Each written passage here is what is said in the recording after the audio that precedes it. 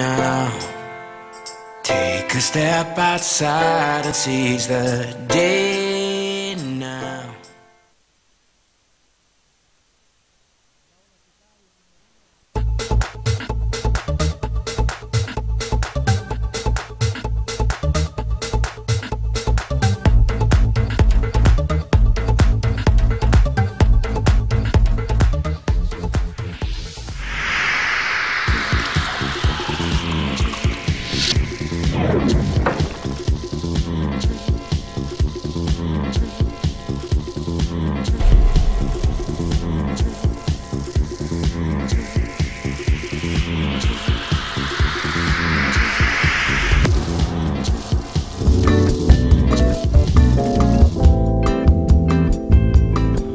Hola, ¿qué tal? Bienvenidos a una nueva edición de Panas y Vino Tinto. Capítulo número 13 de esta segunda temporada. Iniciamos con todo. Hoy con un programa lleno, pero mu- lleno de información de diversos tópicos. Vamos a hablar un poquito de baloncesto. Vamos a hablar un poquito también de la polémica que se formó esta última semana con la prohibición de las grandes ligas respecto a la participación o no de jugadores eh, venezolanos afiliados a su liga, a la LBBP. También un poquito de fútbol y hoy con un invitado muy especial, quien les habla, Julio Castellanos, y me acompaña el amigo Luis Bozo. Bienvenido Luis, un gusto tenerte. Gracias por la invitación. Bueno, acá vinimos a hablar un poco de deportes el día de hoy. un poco de deporte, que es lo que más nos gusta, lo que sabemos, y por supuesto a través de Radio Capital, también a nuestros aliados de HSM Deportes, donde usted durante la semana, si se perdió el programa por Radio Capital, usted va a HSM y puede escuchar el podcast de todo lo que hablamos acá. También eh, mención especial a la gente de Melao Bakery. ¿Por qué? Porque si usted quiere quedar bien, usted quiere quedar Luis como un rey ante un cumpleaños, algún eh, agasajo que quiera hacer con alguna persona, usted se va a Melao Bakery y les escribe el número de WhatsApp 11 26 54 58 44. Pregunta por los postres, son una delicia. Aparte, estéticamente no pueden ser mejor. Así Increíble. que si usted quiere un postre, quiere lucirse como Dios manda, vaya a Melao Bakery. Eh, repito, 11 26 54 58 44 o le puede escribir también un correo electrónico a melaobakeryar.gmail.com. También visite su cuenta de, de Instagram. Si no me cree lo que le estoy diciendo, vaya usted mismo y vea de eh, la calidad de los postres a lo que le estoy hablando. Melao Bakery. Después también, si usted eh, se quiere cortar el, el cabello, una barbería siglo XXI, Scott Barber Shop es la, es la solución. Allí usted le van a dar una atención de primera calidad eh, con los amigos Alvarado que, que están a su disposición 100%. Si usted quiere tomarse una cervecita mientras espera, lo puede hacer tranquilamente.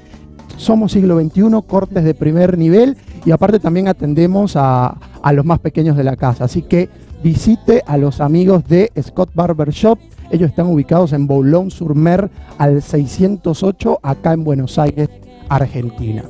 Bueno, después de presentar a nuestros auspiciantes, vamos Sí. a meternos en la candela, Luis. Por supuesto. Vamos a hablar un poquito de baloncesto. Sí, ¿Por sí. qué vamos a hablar de baloncesto? No tocamos mucho ese tema acá en Panas y Vino Tinto, aunque nos encanta, pero este fin de semana inicia el Mundial de Básquet donde Venezuela, esta selección que ha venido arrastrando resultados muy positivos en Sí. los últimos tiempos, yo diría los últimos 8 o 10 años, eh, va a estar jugando el Mundial en China, debuta ante la selección de Polonia el 31 de eh, agosto. de agosto, Así que correcto. vamos a estar analizando un poquito esta, esta participación de sí, Venezuela. por supuesto. Eh, podemos decir que se mantuvo la, o sea, la convocatoria por el parte del, del director técnico Fernando Duró se mantuvo como de aquellos jugadores que tienen experiencia y han venido, como dices tú, han venido participando con esta selección en los últimos 8 o 10 años, agregando un par de nombres nuevos, pero bueno, diríamos que siempre se mantiene Sí, la estructura básicamente es la misma. eh, vienen trabajando, si bien ya el, el- el coach no es eh, Néstor El Che García, que nos dio esas alegrías del preolímpico, eh, varios torneos eh, continentales donde Venezuela fue protagonista y se consagró campeón, aquel torneo en Caracas donde Gravis Vázquez fue figura. sí, eh, mantiene la misma base de jugadores. Una, es un plantel muy veterano, con algunas adiciones jóvenes, pero en, en síntesis son los hermanos Vargas, Néstor Colmenares, Heiler Guillén, se mantienen como la base fundamental de este equipo que va a tener un calendario y que a priori en este grupo A, que vamos a estar hablando un poquito de cada uno de los rivales, tiene como posibilidades de, de trascender. A ver, va a enfrentar un rival europeo Sí. que eh, históricamente le ha costado mucho a Venezuela vencer a rivales europeos. De hecho, en torneos oficiales, Venezuela nunca le ha podido ganar a, Claro. un, a un equipo polaco. Le ganamos recientemente a Turquía, pero fue un partido amistoso. Sí. Ahora viene eh, ese reto y que precisamente va a ser el primer partido de la selección venezolana. Repasemos lo- el calendario de Venezuela. Sí, el calendario, bueno, como había comentado, inicia el 31 de agosto eh, a 4 de la mañana, hora de Venezuela. eh, debuta nuestra Vinotinto versus Polonia. Luego, el 2 de septiembre, Venezuela se enfrenta a la selección africana de Costa de Marfil, que también es muy accesible ganarle. Bastante accesible. Y luego, el 4 de septiembre, eh, Venezuela enfrenta a China, que sería el anfitrión, obviamente. Y creo que del grupo es el rival más difícil de, de- de- de estos tres. Claro. Yo creería que para, para, para pasar a cuartos de final, Venezuela debería ganarle a los tres. Si no, se le va a complicar un poco. Donde no debería pifiar Venezuela es en el debut. Es Polonia, es una selección europea, tiene varios jugadores en equipos de la Liga Europea, el Eurobásquet que es muy fuerte, para el que no conozca mucho de la materia, la Liga Europea es bastante fuerte eh, eh, en- cuanto al, al baloncesto se refiere. Polonia tiene tres jugadores importantes, eh, hablamos de Mateusz Ponic, Ponicka, eh, AJ Slaughter y el capitán Adam Wasinski, son los jugadores como que más importantes que tiene Polonia, que están bien posicionados dentro de esta liga. De hecho, AJ Slaughter tiene experiencia en la NBA, Sí. eh, así que vamos a tener que... eh, ¿Cuáles son las fortalezas? ¿De qué se tiene que eh, basar Venezuela para trascender en un torneo donde nunca ha superado la fase de grupo? Que vamos a estar hablando un poquito más adelante de lo que es este nuevo formato de- del Mundial de Sí, Básquet. por supuesto. ¿Cuál es? Diría yo que Venezuela tiene que mantener su, su rapidez, su contraataque, como siempre lo ha, lo ha tenido en estos últimos 8 o 10 años, sobre todo con Guillén, con Vargas, con los hermanos Vargas, que son, o sea, son jugadores muy rápidos. Diría yo que algo que nos que tenemos en contra sería el tema de la altura, que lo veníamos hablando. Sin duda, sin duda. Eh, no tenemos jugadores altos en relación a lo que es el básquetbol. Pero bueno, en comparación con China y Polonia, se ve que tienen jugadores de metro, de 2 metros 16, 2 metros 15. Nosotros en parte llegamos a 2 metros 5, 2 metros 10. Así que tenemos que aprovechar las transiciones, tenemos que aprovechar la rapidez del equipo y quizás en ese punto eh, podamos, podamos ganarles a estos. Donde, donde Luis, donde no se puede equivocar Venezuela, también creo yo, es en la rotación del balón. Tiene Sí. que saber pasar muy bien la pelota, porque como bien decías tú, no se basa un equipo en el poste, no tiene un equipo como para competir en el poste bajo. Sí. No le vamos a poder competir al centro de China, que tú bien marcabas, mide 2 metros 16. Correcto. Este, el, el más alto, del que más o menos se puede debatir, es eh, Néstor Colmenares, que no tiene una estatura, pero tiene sí una envergadura física importante. Va a tener que rotar muy bien la pelota y algo que a mí me preocupa de Venezuela, sobre todo en este baloncesto moderno, es que eh, no tiene un buen, tire- un, un buen tiro de tres. Pese a que tiene jugadores como Guillén, como los hermanos Vargas, vamos a repasar un Sí, poquito sí, el plantel. Eh, Gregory José Vargas, Claro. Heiler Guillén, Néstor Colmenares, ya lo hemos mencionado, Dwayne Lewis, Miguel Ruiz, Windy Graterol, Anthony Pérez, Jorman Zamora, Michael Carrera, que le va a estar dando una mano a Colmenares eh, junto a Luis Betelmí, y el base Pedro Chourio, que es uno de los jugadores eh, del recambio que muestra la selección de Fernando Duró. Eh, no tenemos estatura y tenemos que ganar es el tiro perimetral. Si algo eh, ha mutado el baloncesto moderno es en, en- en- en cómo se están adaptando no solamente los jugadores puesto 1, puesto 2, puesto 3, sino los, los más altos a lanzar desde el perímetro. Claro. Venezuela no tiene muy buen tiro de 3, pese a tener algunos jugadores escurridizos que marcan bien. Y hablando un poquito de la marca, esa es otra de las fortalezas que Sí, tiene sí, la Venezuela, la, fortaleza, defensa. por lo mismo que veníamos hablando, que tiene un plantel muy rápido, tiene una defensa que, que, que se para bastante bien, así que podríamos decir que es una de las fortalezas que tenemos como selección. Pero también hablar de que quizás el entrenador Fernando Duró podría manejar un poco es el tema de la que a veces la, la selección se, precipita, se precipita mucho en algunas ocasiones. Así Sí. que quizás manteniendo la calma y rotando bien el balón, como decías vos, podríamos eh, podríamos tener más chances de, De hecho, partido. Mira, tengo un número lapidario de Sí. Venezuela de lo que veníamos hablando de tiros de tres.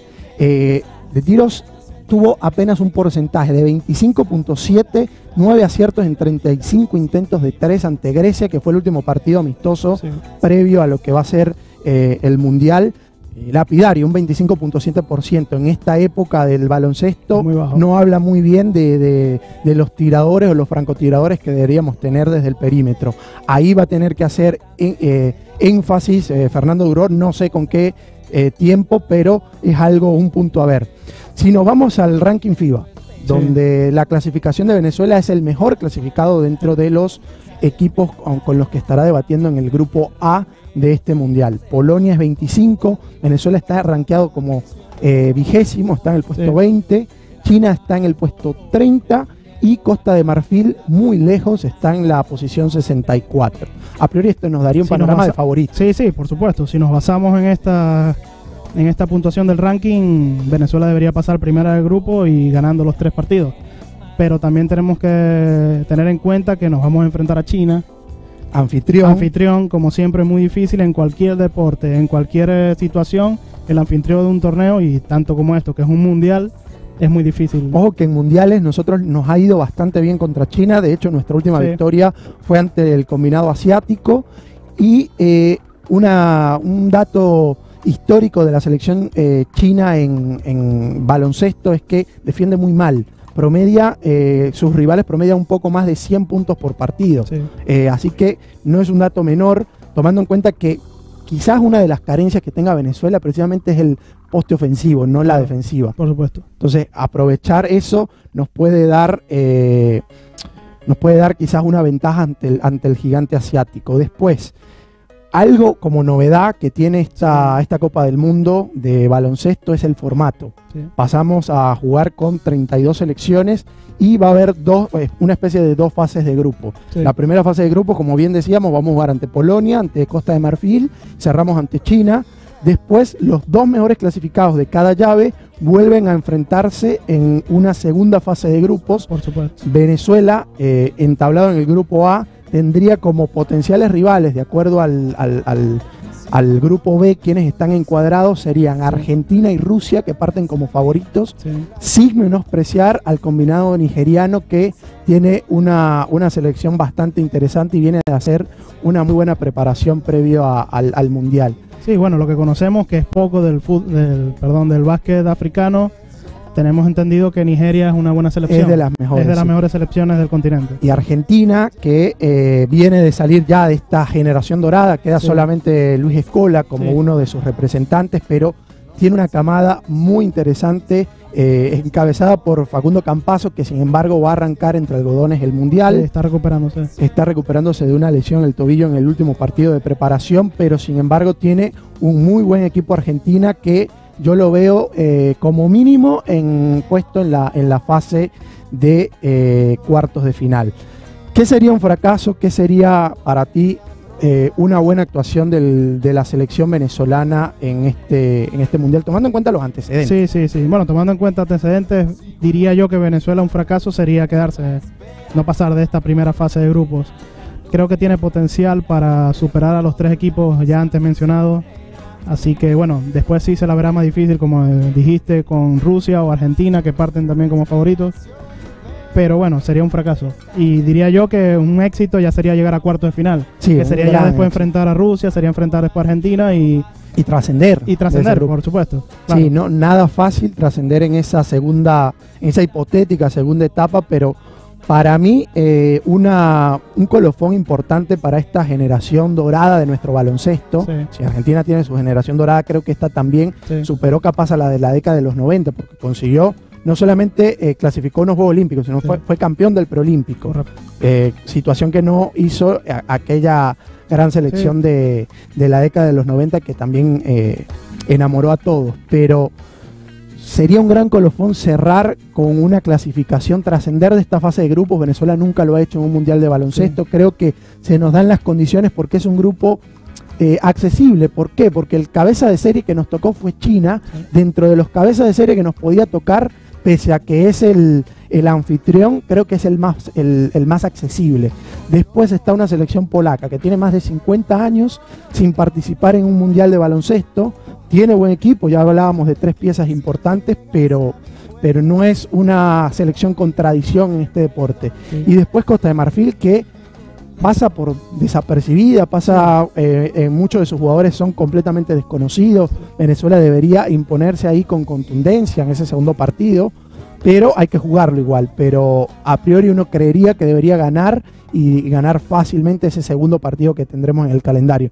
Por eso digo que cerrar esa, ese ciclo que ha formado Néstor García y que está tratando de continuar Fernando Duró sería muy importante para estos jugadores, un cierre de con broche de oro magistral y si no podemos pasar eh, de la primera fase de grupos, ahí yo, la, yo lo catalogaría como un fracaso. Sí, Ya después de la segunda, me parece que están los papeles, porque hablábamos de rivales muy complicados, pero la primera creo que tenemos el gran chance de dar eh, un, paso, un paso adelante. Sí, también conociendo que bueno, la mejor participación de Venezuela ha sido de décimo lugar, Claro, porque eh, pero Eran antes menos- el eran menos- era claro, eran ahora con el nuevo distinto. formato, bueno, hay una posibilidad más grande de trascender.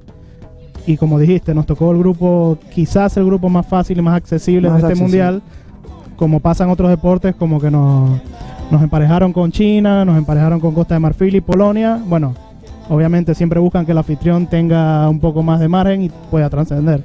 Ya para cerrar el tema del baloncesto, nombrar algo, alguna de las figuras que van a estar en este torneo. Si bien el equipo estadounidense no lleva el equipo A, la unidad A que Sí. tiene, que si no hubiese pasado por, claro. por arriba a cualquier selección, lleva un equipo interesante que según el Power Ranking Sí. que, real- que realizó la propia FIBA de los candidatos a llevarse todo en este torneo, está rankeada segundo Estados Unidos, Sí. solo por detrás de Serbia, la Serbia de Nikola Jokic, Sí. el centro de los Denver Nuggets. Bueno, y conoce- como conocimos hace poco en, la- en- en estos días de amistosos que hubo de las selecciones que van a participar en el Mundial, Estados Unidos tuvo un tropiezo. Tuvo un tropiezo ante la Australia de Patty Mills, Sí, el correcto. jugador de los San Antonio Spurs, Correcto. de esa eh, dinastía que formó junto a Manu Ginobili, Tim Duncan, etcétera. Una Australia que está rankeada en este Power Ranking como la tercera gran favorita a llevarse eh, el, el Habrá que tenerlo en cuenta. Si Hay que pudo derrotar en amistoso a Estados Unidos, bueno, que no tuvo nada de amistoso, por Y- cierto. Claro, y tiene la baja de Ben Simmons, la figura de los 76ers, el base que no va, le dijo que no a la selección australiana, como muchas figuras de la NBA dominicana tiene la baja, por ejemplo, de Al Horford, Sí. que es un pivot importante, pasó también, por cierto, a los 76ers esta, este, este verano. Eh, España, Francia con Rudy Gobert, vamos a nombrar algunas figuras. Sí, sí. Antetokounmpo, Nicola Jokic, perdonen el apellido, eh, Marc Gasol, el español, está también eh, Ricky Rubio, Jonas Valancianus, el, el pivot de lo el lituano, eh, Patty Mills, el nombrado este, puesto 2 del, del equipo australiano, Facundo Campazo, yo lo pongo como una figura porque Sí, sí, sí. para mí es un tipo que tiene todas las cualidades de dar el salto al mejor baloncesto del mundo. Está brillando en el Real Madrid español. Bueno, y la- también conocer que la selección argentina viene de ganar el oro en los Panamericanos. claro, y es la misma viene- base. Es la misma base, viene preparándose. Bueno, como sabemos, lo- el único personaje que queda es Luis Escola. Pero bueno, tiene una buena base para trascender también en este Y mundo. tiene para mí, si no el mejor, porque respeto mucho a Greg Popovich de Sí. Estados Unidos, tiene para mí el segundo mejor entrenador de todos los que está en el, en el torneo, que es Sergio López Hernández. Es Sí. un entrenador, pero de los mejores, de los más cualificados, sin duda. Claro que ha tenido varios ciclos en la selección, pero en bueno, siempre pareciera que Vuelve, es que estuviese destinado a, a entrenar a la selección argentina. Sí, sí, y con muy buenos resultados. Fue eh, uno de los dirigentes de esa, de esa generación dorada. Claro. También nombro de Estados Unidos, no hay tantas figuras, pero está Kemba Walker, recientemente fichado por los Boston Celtics por un contrato de más de 100 millones. Es un jugador súper interesante, muy joven. Se habló también de que podía eh, eh, llegar a los Lakers en este mercado. Finalmente se lo llevaron los Boston Celtics. Rudy Gobert, el centro del Jazz de Utah, que juega con eh, la selección francesa. Y Danilo Gallinari, también el alero de eh, italiano de los Denver Nuggets, si mal no recuerdo. Sí, sí. También son una parte de las figuras que van a estar eh, adornando este gran torneo. Yo estoy bastante emocionado, soy de los que se va a estar trasnochando porque se Sí. en China esta, esta Copa del Mundo para ver el debut de Venezuela y seguirlo eh, muy de cerca. Nosotros, Fernando, no sé si vamos a una pausa musical y ya venimos con más de Panas y Vino Tinto a través de Radio Capital.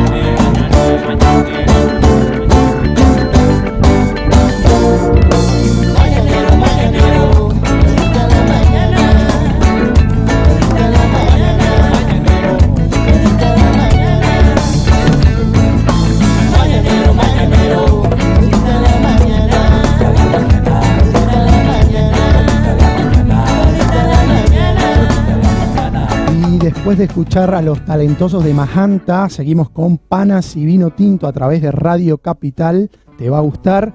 Y recordarles que llegamos gracias a la gente de Melao Bakery.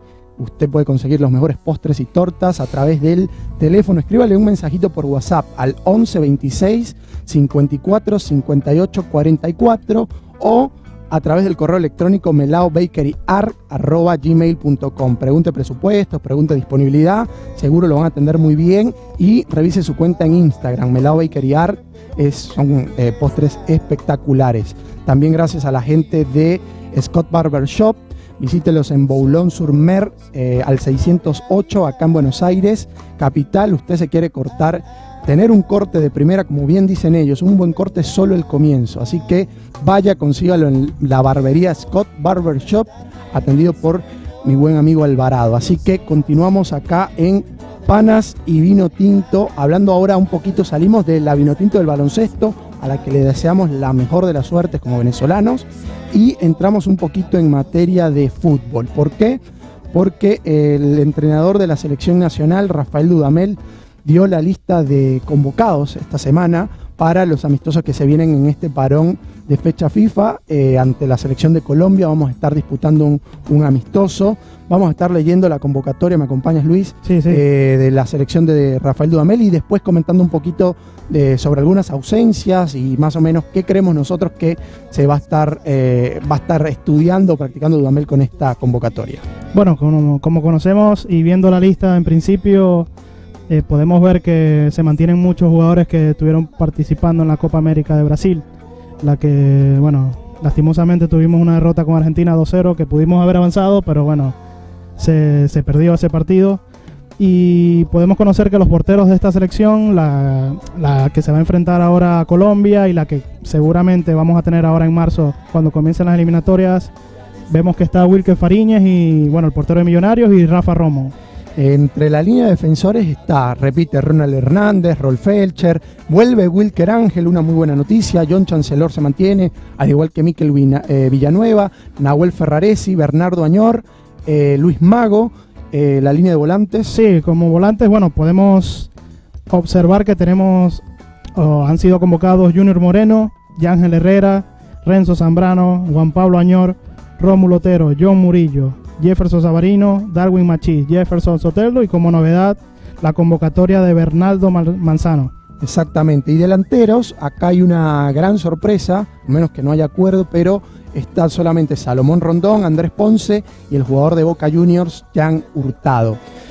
La convocatoria, hasta ahora, si uno ve que no están nombres como Joseph Martínez, Tomás Rincón, ¿qué lectura haces tú de, por lo menos estas dos ausencias? Sí, bueno, son ausencias de jugadores que son base en esta selección y que, bueno, como tenemos entendido de, de, Joseph Martínez, mucha gente lo pide como titular en esta selección, pero bueno, tenemos un histórico como Salomón Rondón que nunca ha fallado, nunca ha tenido un traspié en esta selección, a pesar de que, bueno, como sabemos, marcamos pocos goles, pero siempre está ahí eh, atento. De Tomás Rincón seguramente fue una decisión entre el técnico y el jugador como capitán de la selección, quizás para tener unos días de descanso. Además que va comenzando la temporada europea. Sí. Eh, y quizás eh, está dedicado un poco más a su club, que este año, bueno, como sabemos, va a participar en Europa League también. Yo creería que es un acuerdo entre técnicos y jugadores porque son cuatro referentes, aparte de el mencionado Joseph Martínez eh, y Tomás Rincón, también está eh, Roberto Rosales y para mí Jordan Osorio es ya un, inamovible de, la selección. Son cuatro jugadores que por ahí, por consenso con el entrenador, quisiera yo entender porque si no me explota la cabeza. no entendería la razón de por qué no están. Bueno, también podemos darnos cuenta que está entró nuevamente en la convocatoria Romulo Otero, que muchos lo pedían para la Es una muy buena noticia, la Copa América, ahora que volvió a Brasil, al Atlético Mineiro, que bueno, el día de hoy estará, el, perdón, el día de ayer clasificó a las semifinales de, la de la Copa Sudamericana, va a enfrentarse a Colón de Argentina. Y bueno, está teniendo unas actuaciones en el, en el Brasileirao que obviamente cuando se fue a Arabia estaba un poco alejado del mapa y no, no sabíamos nada. Rómulo Otero es una muy buena noticia para la selección porque es una variante que en la Copa América se vio que nos hizo falta. No teníamos un mediocampista ofensivo que atacara por el centro, que tratara de manejar la pelota, que fuera vertical y que en vez de eh, lanzarse por una banda, como te dije, manejara los tiempos desde la mitad de la cancha, desde el centro. Aparte que la pegada de Rómulo Otero no lo tiene ningún jugador en la, en la selección nacional. Sí, nos hizo falta. En, en, la misma Copa América tuvimos un par de partidos donde tuvimos oportunidades de tiro libre o corners que quizás estando Otero los hubiésemos aprovechado mucho mejor. Como pasaba en la época pasada cuando estaba Arango. Claro. Marcábamos muchos goles de tiro libre, de corner, bueno, con Vizcarrondo obviamente también. Pero quizás nos faltó esa pegada en el torneo continental ahora en Brasil. Seguimos ensayando la posición de lateral izquierdo. Está Bernardo Añor. A mí algo que me llamó poderosamente la atención, si estamos en amistosos previos a lo que va a ser esa eliminatoria que arranca el año que viene en marzo, si mal no recuerdo. Eh, tenemos jugadores que por ahí, ¿por qué no probarlos? Sí. ¿Por qué no ir probando? Porque más o menos esta es la base, como bien decíamos, pero yo me anoté acá varios jugadores. Entre esos eh, Benítez, el lateral izquierdo del Zulia Fútbol Club. Pedro le ha hecho mucha campaña acá en este programa, en Panas y Vinotinto, y yo voy a profundizar esa campaña de Benítez, el lateral izquierdo del Zulia Fútbol Club. ¿Por qué? Porque es una posición donde, nosotros tenemos como el puesto libre, no tenemos definido quién va a ser el titular. Eh, jugó Rolf Elcher, juega Luis Mago, eh, Roberto Rosales a pierna cambiada, que no es su posición natural, pero no tenemos si a mí me preguntan quién es el central de las, quién es el arquero de la selección, yo digo, de una es Wilker Fariñez, quién es, quiénes son los marcadores centrales, digo Chancelor y, Osorio. Eh, el volante central, te los digo también, Junior Moreno, Tomás Rincón y Ángel Herrera, pero si me preguntan quién es el lateral izquierdo, no sé. Sí, no sabemos. Bueno, y muchos pretendíamos que en la Copa América iba a jugar eh, Luis Mago, que venía desempeñándose en Chile de buena manera pero no, lo, Dudamel lo presentó como central eh, cuando tuvo las lesiones de Osorio y de Chancellor, lo presentó como central y siguió Rosales jugando por esa banda. Como dices tú, si es una posición que diríamos que tenemos muchas falencias y presentando jugadores del medio local podríamos haber probado. El único, tengo entendido que el único jugador del medio local es Bernardo Añor. Bernardo Añor, eh, esa va a ser la apuesta de Dudamel y es válida, ¿no? Hay que darle la oportunidad a jugadores también del medio local, pero me parece que un mejor nivel, un mayor roce competitivo tuvo eh, el, chico del Zulia, Benítez, que el propio Bernardo Añor, simplemente porque trascendieron, el club trascendió a cuartos de final de una Copa Internacional, un hito casi sin precedentes, muy pocos precedentes, ha tenido el, el balompié venezolano de esto Sí. y no desentonó el muchacho. La verdad que no desentonó, hubiese sido interesante, habrá que saber las, las eh, justificaciones de Rafael Dudamel. Eh, después, buena noticia la de Wilker Ángel. Yo creo que se forma un compacto, no sé qué opinas tú de Wilker Ángel, pero se forma un grupo de cuatro centrales bastante competitivos que entre cualquiera de ellos puede- podría ser titular. Hablo de Villanueva, Ángel, Osorio Chancelor. Sí, sí, y bueno, y teniendo en cuenta que en las eliminatorias suelen estar suspendidos, suelen estar, como son partidos de doble fecha, podríamos tener dos centrales o cuatro centrales, como lo acabas de mencionar, que sean titulares. En tal Sí. caso de que uno no pueda estar, otro esté suspendido, tenemos cuatro titulares que podrían jugar en cualquier partido. que no desentonen eh, y eso es Y que no desentonen, correcto. claro yo creo que tenemos cuatro opciones que muy parejitas en cuanto a su nivel uno con otro por ahí a mí me gusta más Osorio Sí. creo que sería de los cuatro el más destacado pero Chancelor debutó esta, este fin de semana en el fútbol italiano con el Brescia Sí, sí. y lo hizo muy bien, fue Sí, titular, ganó el equipo, así que eh, buenas noticias porque ese fogueo le hace falta a nuestro fútbol. Y con estos cuatro centrales también podríamos tener en cuenta que, como se ha ido probando en, en eliminatorias pasadas, cuando nos toca jugar a veces de local y después ir a La Paz o ir a Quito, que son partidos difíciles en la altura, teniendo cuatro centrales de nivel, podríamos jugar con dos de ellos de local Claro. y dos de ellos de visitante, así no o irlos preparando como se hacía en, las eliminatorias pasadas. Sí, las veces que visitamos Bolivia, que conseguimos resultados eh, positivos, Positivos, y, eh, Venezuela se caracterizó por hacer una doble convocatoria. Ahí tendríamos esa Que posibilidad. ahora tenemos la oportunidad también de, con estos centrales de nivel que tenemos, cuatro centrales que pueden ser cualquiera titular, podríamos quizás eh, manejar esta doble convocatoria y no tener que llevar, como hacíamos en eliminatorias pasadas, llevar jugadores de medio local solo para ir a Bolivia, sino que como tenemos una selección tan amplia en estos momentos, podríamos llevar dos selecciones de nivel a los dos partidos, tanto de local como de visitante. Exactamente. Bueno, en la posición de volantes, eh, la misma base, como ya mencionábamos, con las novedades de Bernaldo Manzano, eh, Renzo Zambrano, Sí. eh, el mencionado también Rómulo Otero, son los tres nombres nuevos. Yo creo que con Otero lo que veníamos mencionando es buscar esa alternativa que en la Copa América no tuvimos. Sí, tuvimos no un par de rotaciones en la Copa América. Bueno, si recordamos, estuvo Sabarino titular en un Claro. partido, pero quizás con Otero hubiésemos tenido más, más explosión en el mediocampo. Que la tuvimos con, con Soteldo cuando entró en, lo- en los partidos de recambio. Pero bueno, quizás con Otero. Sí, pero yo creo que Soteldo es un jugador distinto a, a- a Otero. Sí, Tiene mucha explosión, es vertical, en eso son un poco son parecidos, pero yo veo a Soteldo más un jugador de banda que Otero. Otero yo lo veo más tipo 10. La Sí, verdad, sí. Y también darnos cuenta que Dudamel viene jugando en estos partidos de Copa América, de eliminatoria al Mundial pasado, con una formación de 4-3-3. Claro. Ahí se complica un poco porque tendría que tirarse un poco a la banda. Pero nos da una variante. Nos da una variante es que, que la tuvimos con Sabarino, pero no funcionó de buena manera en la Copa Hubo América. un partido obviamente. que yo le vi a Sabarino que fue ante Bolivia, Sí, hizo sí. muy buen partido, Sí, pero pero sí, sería también añadirle eh, eh, un tema competitivo Sí, también sí. a- al, al propio Sabarino, que no se sienta cómodo, está teniendo una temporada espectacular en el fútbol estadounidense, pero a, a lo que voy es, no se sienta cómodo es en el sentido que sienta competencia, no, Sí. no, no por nada más. Sí, sí. Después Bernardo Manzano la está rompiendo en el fútbol venezolano, Sí. así que es muy, eh, muy buena la convocatoria. De hecho, estuvo muy cerca de integrar el equipo que eh, terminó jugando la Copa América, fue uno de los últimos descartes de, de Rafael Dudamel. La delantera, a mí, eh, a ver, me, me hace mucho ruido porque el amistoso es en Estados Unidos.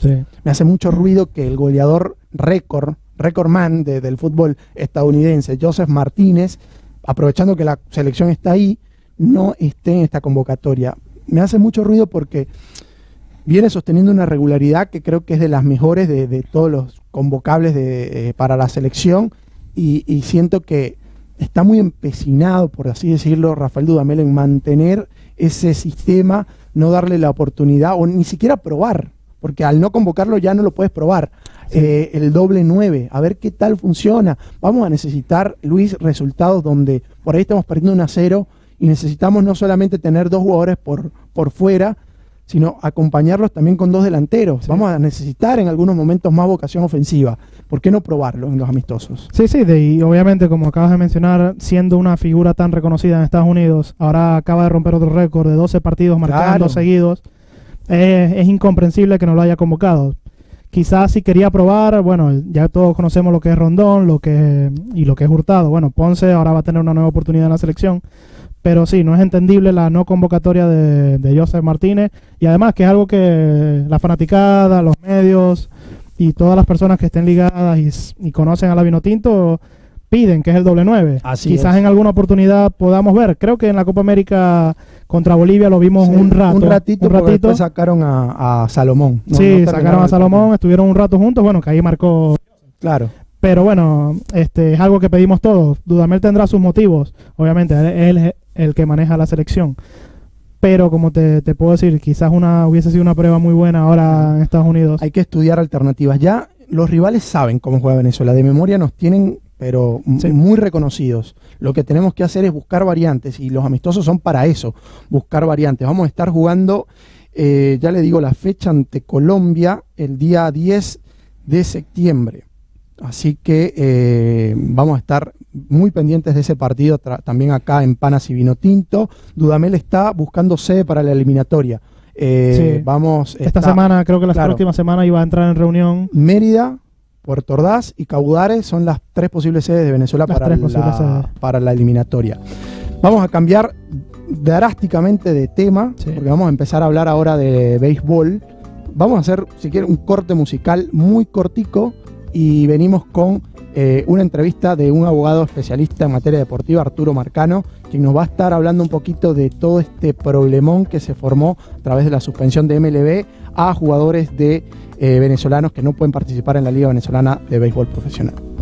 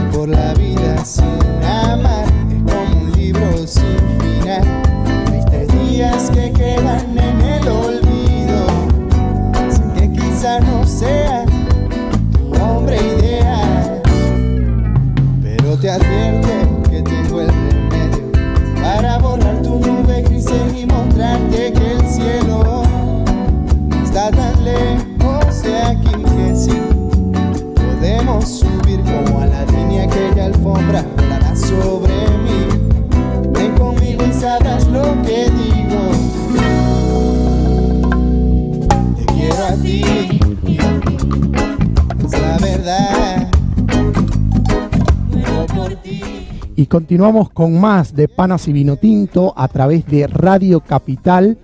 Eh, vamos a tener un contacto muy especial. Estamos junto a eh, Luis Bozo, Julio Castellanos. Vamos a estar contactando con el abogado eh, especialista en materia deportiva, el señor Arturo Marcano. ¿Por qué? Porque vamos a hablar un poquito de la sanción que MLB impuso a la Liga Venezolana de Béisbol Profesional, donde los jugadores no solamente de grandes ligas, sino de las filiales, eh, tienen prohibido hasta cierto punto, ya Arturo nos estará aclarando este tema, eh, participar esta temporada en el béisbol profesional venezolano, la temporada de 2019-2020. Arturo, ¿cómo estás? Bienvenidos a Panas y Vino Tinto desde Buenos Aires. Te saluda Julio Castellanos. ¿Cómo estás? Julio, ¿cómo estás? Eh, muchísimas gracias por la invitación y sí, un tema un poco complejo, ¿no? Y con, varias aristas que hay que analizar con, mucho cuidado. Sin duda, Arturo, por eso eh, quisimos contactar, eh, contactarte por tu opinión eh, más que certificada para este tema, para estos temas, porque hay muchas dudas en, torno a, a, cómo se va a manejar esta sanción. Tengo entendido que todavía no hay una postura ya definitiva en cuanto a esto, más allá del memo, que quisiera primero que nos dijeras quién lo publica, eh, cómo surge esto eh, y, qué implicaciones tiene para la Liga Venezolana de Béisbol Profesional venezolano. Sí, vamos a empezar diciendo de que realmente MLB no, no impone ninguna sanción a la liga, ¿no? Lo que hace MLB a través del memo, o del memo que salió publicado el 22 de agosto, es decir, nosotros somos una empresa estadounidense. Claro. Eh, tenemos la duda de, de que la Liga Venezolana de Béisbol Profesional sea un ente independiente debido a la relación que existe financieramente por el patrocinio con PDVSA, que es un ente eh, eh, gubernamental, y, esa, esa confusión que tiene MLB dice, yo no puedo, de acuerdo con, la, con las órdenes ejecutivas del presidente Trump, realizar ningún tipo de negocio con entes gubernamentales. Tengo dudas que la liga sea un ente gubernamental. Le pido a la OFAC, que es una oficina, parte del Departamento del Tesoro, que me diga, y es la autorizada en este caso de, orientar a empresas privadas como, como MLB, que me diga si la Liga Venezolana de Béisbol Profesional es un ente independiente o es un ente básicamente que se puede considerar como gubernamental. Si es gubernamental, yo no puedo hacer ningún tipo de, negocio ni, ni, tener ningún tipo de relación con ello. Mientras la OFAC toma esa decisión, y esa es la parte que está que todos están esperando, la OFAC es el Departamento del Tesoro de Estados Unidos. Exacto, es una oficina de departamento que forma parte del Departamento del Tesoro y que, que hasta cierto punto en el deporte nosotros estamos acostumbrados incluso a hablar de la OFAC, porque la OFAC, los procesos que existen para que Cuba, por ejemplo, participe en el, en el Clásico Mundial de Béisbol se hacen a través de la OFAC. O sea, no, no, no, es, una, no es una oficina nueva en el, en, el, en el mundo del deporte, si se quiere. Entonces, la MLB dice, mientras la OFAC no se pronuncie, yo voy a negar los permisos a los jugadores que están bajo contrato, tanto de ligas menores como los que pertenecen al roster de 40, al roster de 25, porque no me puedo arriesgar a, que en un futuro me sancionen. Entonces, esa es la, esa es la situación en que estamos en, estos momentos. ¿no? Hay, otro punto adicional que es la exclusión de Venezuela del, Winter League Agreement, pero eso lo podemos hablar después. Pero eh, en estos momentos lo que existe es MLB a través de un memo escrito por Dan Hallen, que es el abogado principal de MLB, diciéndole a la Liga Venezolana, diciéndole a, sus empleados, ¿no? a, los equipos, al personal de materia internacional, eh, nosotros no vamos a dar permiso a jugadores para que participen en la Liga Venezolana de Béisbol Profesional por estas dudas que tenemos claro. en, torno a las sanciones. Vamos a esperar que el OFAC se pronuncie. Mientras el OFAC se pronuncie, igual vamos a negar los permisos. Eh, si el OFAC se pronuncia y nos dice que sí podemos tener alguna relación con ellos, eh, uno asume que ellos van a dar los permisos. O sea que MLB a ver si entiendo, MLB como empresa norteamericana básicamente se está cubriendo las espaldas ante las sanciones que el gobierno de Donald Trump impuso al gobierno venezolano. Entonces, lo deja en manos de la OFAC, que básicamente acá tiene la última palabra. Si la OFAC eh, ratifica que eh, las sanciones también aplican para la Liga Venezolana de Béisbol Profesional, entonces ahí ese memo de grandes ligas ya estaría prácticamente siendo oficial. ¿Es así? confirmaría lo que ya está en el memo. O sea, ya, podemos asumir que la medida se tomó oficialmente. O sea, no hay, no hay permiso. O sea, hoy en día los venezolanos ni extranjeros que pertenezcan a las organizaciones de, las grandes ligas, o sea, que, pertenezcan a un equipo de grandes ligas, ya sea a cualquier nivel, repito, ligas menores o ligas mayores, no tienen, no están autorizados para ir y jugar en la Liga Venezolana de Béisbol Profesional. Eso es una medida oficial que está activa lo que va a hacer la OFAC es confirmar esa medida o en dado caso decir, MLB, ustedes sí pueden negociar, ustedes sí pueden enviar jugadores para Venezuela. Entonces, en ese momento, MLB tendrá que rectificar y en ese momento dará los permisos. Pero hoy en día, la negativa de los permisos es oficial. Y cuando decías de el rompimiento del Winter League Agreement con Venezuela, ¿a qué te referías? Bueno, esa es la parte que genera más confusión de todo esto. En el mismo memo del 22 de agosto, luego de que explica eh, Dan Hallen, el abogado de las grandes ligas, la situación con las sanciones, la sensación de los factos, eh, incluye un párrafo que dice más o menos, nosotros de aquí en adelante ya no vamos a considerar a la Liga Venezolana de Mejor Profesional como parte del acuerdo invernal. ¿Qué es el acuerdo invernal? El acuerdo invernal es un documento que firman las ligas que forman la Confederación del Caribe con MLB para regular básicamente esa relación. ¿no? Y, en esa, y ese documento es un documento muy importante donde se incluyen todos los procesos para obtener permisos, para negar permisos, las listas de reserva, los procesos a la hora de seguros, eh, em, inspección de los, de los estadios, eh, realmente absolutamente que todos los detalles que tienen que ver con, el desarrollo de una temporada. ¿no? Eh, cuando MLB en ese memo dice yo no considero ya a la Liga Venezolana es mejor de béisbol profesional como parte del acuerdo invernal, básicamente está expulsando a la liga de ellos y, deja a la liga de béisbol profesional también en un limbo. O sea, además de, que no le está dando los permisos, este, coloca a la liga en un limbo total, porque entonces si no eres parte del, acuerdo invernal, tú no tienes listas de reservas, tú no tienes derecho a realizar una cantidad de acciones, eh, eh, eh, la gente de MLB no puede ir a Venezuela a hacer la inspección de los estadios, por ejemplo. Entonces, es una situación bastante complicada desde es punto de vista. Es una desafiliación prácticamente de la Confederación del Caribe, ¿o no? Bueno, no de la Confederación, porque eso es una parte también interesante de la discusión. Ellos lo sacan es del acuerdo invernal. No, yo tengo dudas de que ellos puedan hacerlo a través de un memo y sin un proceso. De todas maneras, eh, MLB es un ente que a veces se comporta de esa manera, ¿no? Eh, y, creería yo que tiene como mucho poder para hacerlo. Sí, sí, sí, demasiado poder y, realmente la, en este caso las ligas no tienen ningún recurso, si se quiere, para, para tratar de pelear contra, contra MLB. Mi primera interpretación es que lo habían sacado la Confederación del Caribe, pero realmente la Confederación del Caribe es una especie de club privado que tiene sus propias reglas de entrada y salida y la Confederación del, o sea, MLB no es la Confederación del Caribe, o sea, MLB no tiene ningún tipo de potestad para sacar a alguien de la Confederación, lo que sí tiene, porque ellos sí son parte, es, de y, tampoco, y tampoco, ojo, eh, porque el acuerdo invernal dice que la única manera que tú excluyas a una liga de la, de, esta, de la Confederación del Caribe, del acuerdo invernal, es cuando, cuando hayan violado el acuerdo invernal.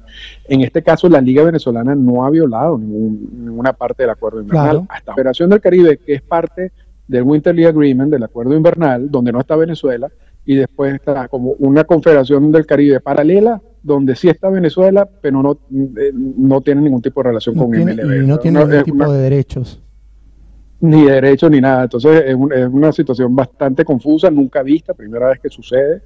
Eh, y vamos a ver qué, pasa de aquí, porque realmente... Eh, como técnicos de los navegantes del Magallanes, ¿cómo queda el panorama para los jugadores eh, grandes ligas?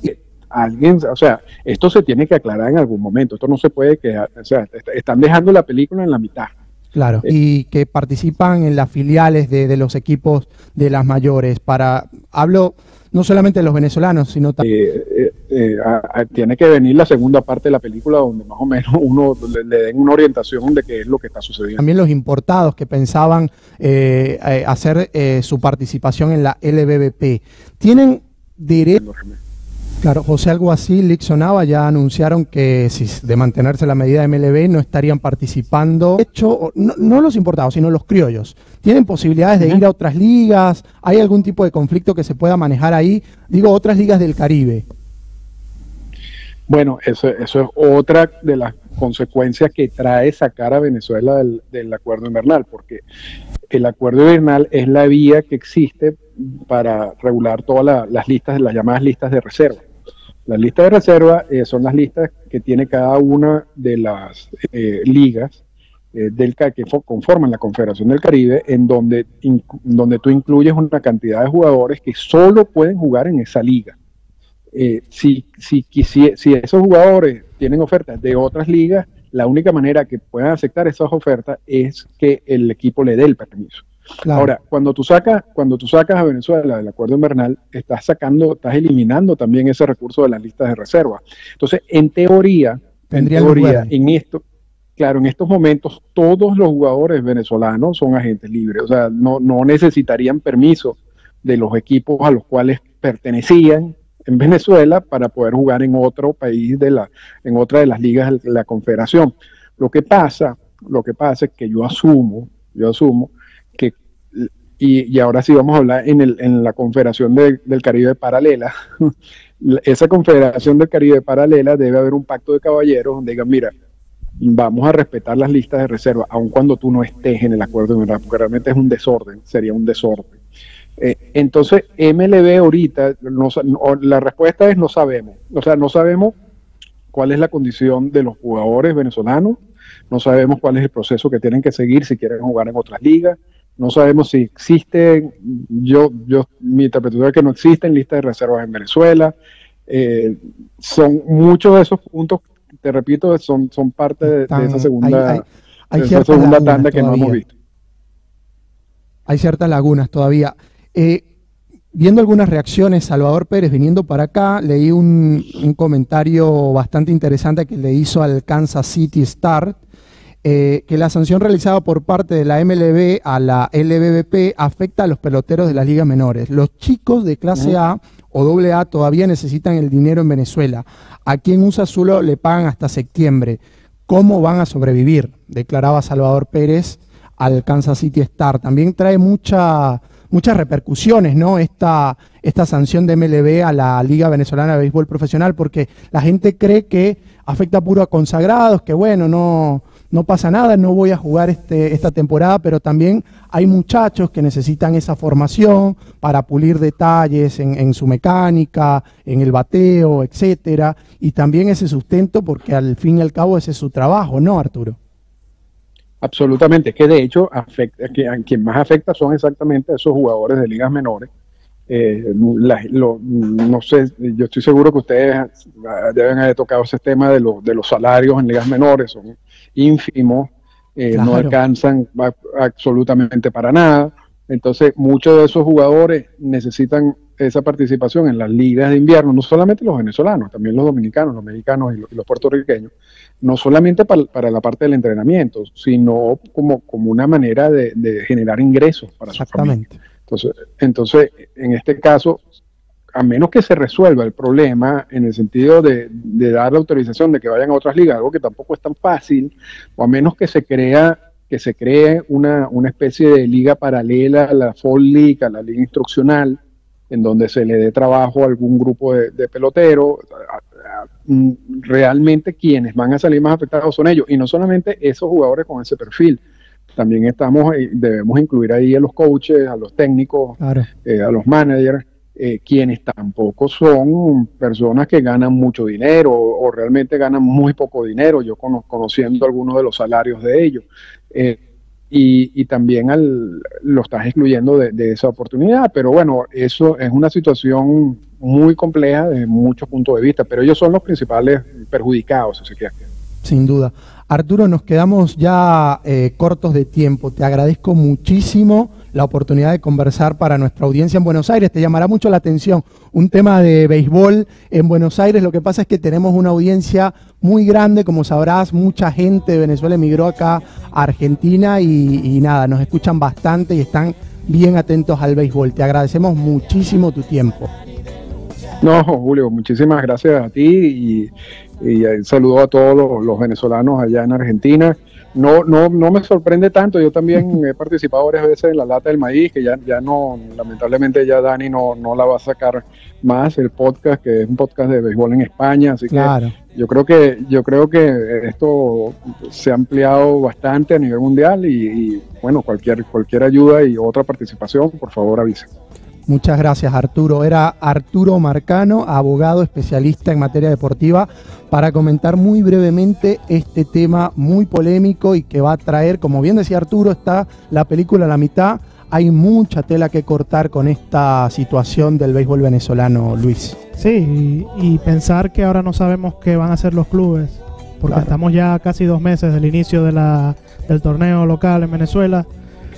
Y bueno, esperar, esperar a ver qué, emite la MLB de cierto, el Departamento de Tesoro, para ver cómo se van a armar los equipos. Es una sanción, como decía Arturo, que me lo aclaró al aire, ya impuesta, ya esta es una sanción que está vigente, solamente falta que eh, la OFAC la ratifique. Si la ratifica, ahí, como quien dice muy en criollo, no hay derecho a pataleo, ya está. Sí, sí igual como tenemos entendido algo, eh, están por confirmarla ya que eh, creen que la Liga Venezolana de Béisbol está atada al gobierno. Entonces puede ser una, un ente que- del gobierno. y que- Obviamente tenemos, tenemos entendido que sí es así. Porque El patrocinio, el capital el principal del patrocinio, por supuesto, hay patrocinantes más pequeños, pero sí, el principal, todos sabemos que sponsor es el gobierno. sí, sí, por supuesto. Bueno, se nos ha acabado el tiempo. Esto ha sido Panas y Vino Tinto a través de Radio Capital.